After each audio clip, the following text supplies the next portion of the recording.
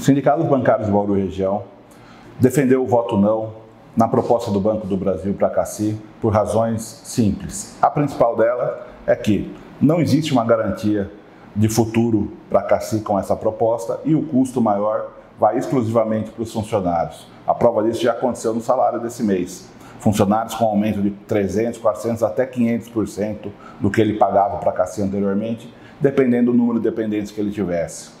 Para nós, os sindicatos bancários de Bauru, isso é um crime. E o que aconteceu na eleição da CACI em relação ao estatuto foi a violação do artigo 73, já que nele o banco somou os votos brancos e nulos para dar o quórum que ele precisava para aprovação do estatuto. A consequência disso é que o Sindicato dos Bancários de Bauru Região ajuizou, junto com outros cinco sindicatos, uma ação com pedido de eliminar para que a eleição, essa mudança estatutária, perdesse a validade. De concreto, a primeira liminar para isso já saiu. A Associação Nacional Viva Funci do Rio de Janeiro conseguiu uma decisão favorável que talvez já permita no próximo mês de janeiro que não existam esses descontos abusivos na folha de pagamento do pessoal do bebê.